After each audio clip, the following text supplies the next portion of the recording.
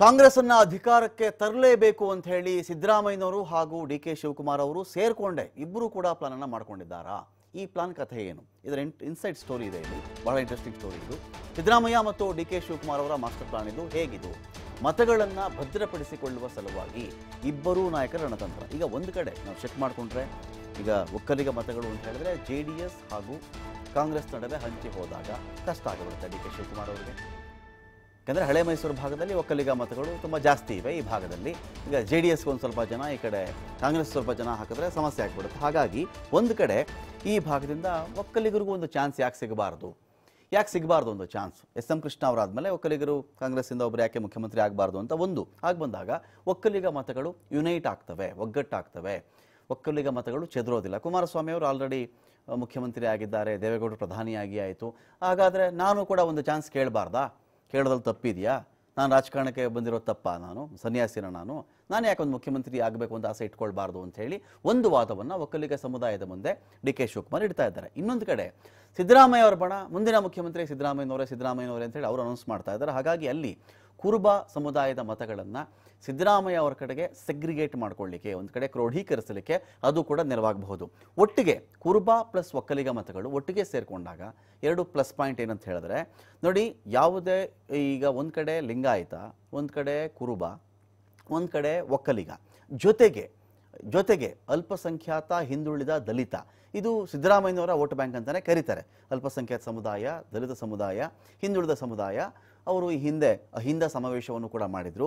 ಇಷ್ಟು ಸಮುದಾಯದ ಮತಗಳು ಒಂದು ಕಡೆ ಒಂದು ಕಡೆ ಒಕ್ಕಲಿಗ, ಒಂದು ಕಡೆ ಕುರುಬ, ಒಂದು ಕಡೆ ಅಲ್ಪಸಂಖ್ಯಾತ, ಹಿಂದುಳಿದ ದಲಿತ, ಇಷ್ಟು ಸಮುದಾಯಗಳು ಒಂದು ಕಡೆ ಕ್ರೋಢೀಕರಣವಾಗ್ಬಿಟ್ಟಾಗ ಕಾಂಗ್ರೆಸ್ ಪಕ್ಷಕ್ಕೆ ಹೆಚ್ಚಿನ ಮಟ್ಟದಲ್ಲಿ ಸೀಟ್ಗಳು ಬರೋದ್ರಲ್ಲಿ ಅನುಮಾನ ಇಲ್ಲ. ಹಾಗಾಗಿ ಈ ಸ್ಟ್ರಾಟಜಿಯನ್ನು ಇನ್ಸೈಡ್ ಒಳ, ಮೇಲ್ಗಡೆ ಇವ್ರ ಕಡೆ ಅವರಿಲ್ಲ, ಅವ್ರ ಕಡೆ ಇವರಿಲ್ಲ ಇಂಥ ಚರ್ಚೆಗಳಿದ್ರೂ ಕೂಡ ಒಳಗಡೆ ಒಳಗಡೆ ಇಂಥ ರಣತಂತ್ರ ನಡೆದಿದ್ಯಾ?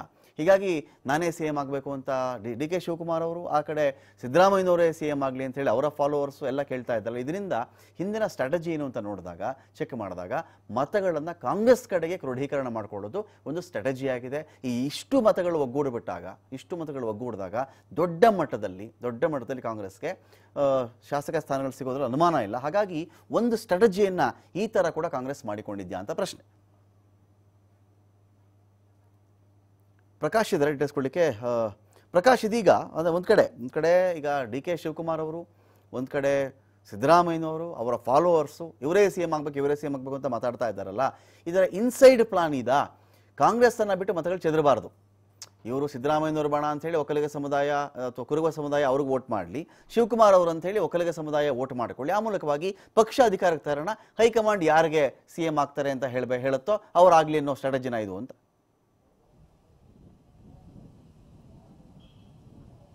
ರಮಕಾಂತ್ ಖಂಡಿತವಾಗ್ಲೂ ನೀವು ಹೇಳ್ತಾ ಇರೋದು ಕೂಡ ಕರೆಕ್ಟ್ ಆಗಿದೆ. ಇದರ ಇನ್ಸೈಡ್ ಸ್ಟೋರಿ ಕೂಡ ಪಕ್ಕಾ ಟಿವಿ ಫೈವ್ಗೆ ಮಾಹಿತಿ ಕೂಡ ಸಿಕ್ಕಿರುವಂಥದ್ದು ಒಂದು ಕಡೆ ಡಿ ಕೆ ಶಿವಕುಮಾರ್ ಈಗಾಗಲೇ ಹಳೆ ಮೈಸೂರು ಭಾಗದ ಒಕ್ಕಲಿಗರ ಕಾಂಗ್ರೆಸ್ ಲೀಡರ್ ಏನಿದ್ದಾರೆ, ಅವ್ರಿಗೆ ಈಗಾಗಲೇ ಒಂದು ರೀತಿ ಎಚ್ಚರಿಕೆಯನ್ನು ಕೂಡ ಕೊಟ್ಟಿರುವಂಥದ್ದು ಮತ್ತೆ ಫುಲ್ ಅಲರ್ಟ್ ಆಗಿರುವಂತೆ ಈಗಾಗಲೇ ಸಂದೇಶವನ್ನು ಕೂಡ ರವಾನೆ ಮಾಡಿದ್ದಾರೆ. ಇನ್ನೊಂದು ಕಡೆ ಈಗಾಗಲೇ ರಾಮನಗರದಲ್ಲಿ ಡಿ ಕೆ ಶಿವಕುಮಾರ್ ಕೂಡ ಹೇಳ್ತಾ ಇದ್ರು, ಈ ಹಿಂದೆ ದೇವೇಗೌಡರಿಗೆ ಅವಕಾಶ ಮಾಡಿಕೊಟ್ಟಿದ್ದೀರಿ, ಹಾಗಾಗಿ ನಮಗ್ಯಾಕೆ ನೀವು ಅವಕಾಶ ಮಾಡಿಕೊಡ್ಬಾರ್ದು, ನಾವ್ಯಾಕೆ ಒಕ್ಕಲಿಗರಿಂದ ಸಿ ಎಂ ಆಗಬಾರ್ದು ಅನ್ನುವ ಮಾತನ್ನು ಕೂಡ ಈಗಾಗಲೇ ಸ್ವತಃ ಡಿ ಕೆ ಶಿವಕುಮಾರ್ ಅವರು ಹೇಳಿದರು. ಆದರೆ ರಾಜ್ಯದ ಜನರಿಗೆ ಏನಂತ ಇದೆ ಅಂತಂದ್ರೆ, ಒಂದು ಕಡೆ ಮಾಜಿ ಸಿ ಎಂ ಸಿದ್ದರಾಮಯ್ಯ ಮತ್ತು ಡಿ ಕೆ ಶಿ ನಡುವೆ ಇಬ್ಬರ ಬಣಗಳು ಕೂಡ ಆಗಿರುವಂಥದ್ದು ಇವರಿಬ್ಬರು ಕೂಡ ಒಬ್ರಿಗೊಬ್ರು ಹೊಂದಾವಣಿಕೆ ಕೂಡ ಆಗ್ತಾ ಇಲ್ಲ ಅನ್ನುವ ಮಾತುಗಳು ಕೂಡ ಈಗಾಗಲೇ ಸಾಕಷ್ಟು ಚರ್ಚೆ ಆಗ್ತಾ ಇದೆ.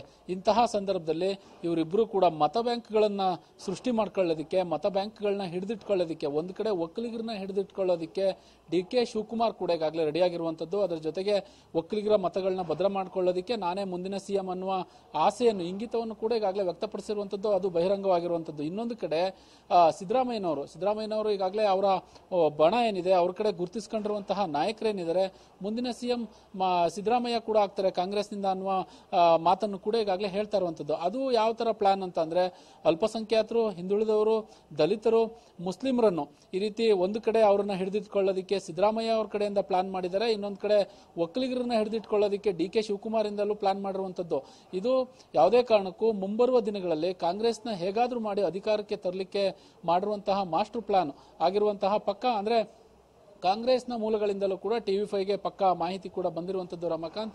ಈಗಾಗಲೇ ಒಂದು ಕಡೆ ಹಳೆ ಮೈಸೂರು ಭಾಗದಲ್ಲಿ ಏನು, ಬೆಂಗಳೂರು ಗ್ರಾಮಾಂತರ ಸಂಸದ ಡಿ ಕೆ ಸುರೇಶ್ ಏನಿದ್ದಾರೆ, ಈಗಾಗಲೇ ಸಾಕಷ್ಟು ಓಡಾಡ್ತಾ ಇರುವಂಥದ್ದು. ಅದರಲ್ಲೂ ಹಾಸನ ಜಿಲ್ಲೆಗೆ ಸಾಕಷ್ಟು ಹೆಚ್ಚಿನ ಆದ್ಯತೆಯನ್ನು ಕೂಡ ಈಗಾಗಲೇ ಕೊಡ್ತಾ ಇರುವಂಥದ್ದು. ಇವೆಲ್ಲವನ್ನು ಕೂಡ ಗಮನಿಸಿದಂತಹ ಸಂದರ್ಭದಲ್ಲಿ ರಾಜ್ಯದ ಜನರಿಗೆ ಇವರಿಬ್ಬರು ಬಣಗಳು ಮಾಡ್ಕೊಂಡಿದ್ದಾರೆ ಅನ್ನುವ ಮಾತುಗಳನ್ನು ಕೂಡ ಆಡ್ತಾ ಇದ್ದಾರೆ. ಇದು ಖಂಡಿತವಾಗ್ಲೂ ಬಣ ಅಂತದ್ದು ಯಾವುದೂ ಕೂಡ ಇಲ್ಲ. ಇಬ್ರು ಕೂಡ ಮೇಲ್ನೋಟಕ್ಕೆ ಹಾಗನ್ನಿಸ್ತಾ ಇದೆ. ಆದರೆ ಇಬ್ರು ಒಳೊಳಗೆ ತುಂಬಾ ಚೆನ್ನಾಗಿರುವಂತದ್ದು ಸತ್ಯ. ಹಾಗಾಗಿ ಈ ರೀತಿ ಮತಗಳನ್ನ ಹಿಡಿದಿಟ್ಕೊಳ್ಳೋದಕ್ಕೆ ಅದರಲ್ಲೂ ಹಳೆ ಮೈಸೂರನ್ನ ಸಾಕಷ್ಟು ಟಾರ್ಗೆಟ್ ಮಾಡಿರುವಂತದ್ದು ಕಾಂಗ್ರೆಸ್. ಯಾಕಂತಂದ್ರೆ ಹಳೆ ಮೈಸೂರು ಭಾಗದಲ್ಲಿ ಈಗಾಗಲೇ ಜೆ ಡಿ ಎಸ್ ಭದ್ರಕೋಟೆ ಕೂಡ ಅಂತ ಕರಿತಾ ಇದ್ರು. ಅದನ್ನ ಹೇಗಾದ್ರೂ ಮಾಡಿ ವಶಪಡಿಸ್ಕೊಂಡ್ರೆ ಒಂದಿಷ್ಟು ಒಕ್ಕಲಿಗ ಶಾಸಕರನ್ನ ಗೆಲ್ಲಿಸ್ಕೊಂಡ್ರೆ ಕಾಂಗ್ರೆಸ್ ಅಧಿಕಾರಕ್ಕೆ ಬರ್ಲಿಕ್ಕೆ ಶತಾಯುಗತಾಯ ಟ್ರೈ ಕೂಡ ಮಾಡ್ತಾ ಇರುವಂತದ್ದು ಅದೇ ರೀತಿ ಸಿದ್ದರಾಮಯ್ಯನ ಸಿದ್ದರಾಮಯ್ಯ ಏನಿದ್ದಾರೆ ಅವರು ಕೂಡ ಇದೇ ರೀತಿ ಪ್ಲಾನ್ ಮಾಡ್ಕೊಂಡು ಎಲ್ಲಾ ಮತಗಳನ್ನ ಹಿಡಿದು ಸಿಎಂ ಎಂಬುವ ಮಾತುಗಳನ್ನು ಕೂಡ ಈಗಾಗಲೇ ಕಾಂಗ್ರೆಸ್ನಲ್ಲಿ ಈ ರೀತಿ ಮಾಡ್ತಾ ಇರುವಂತದ್ದು.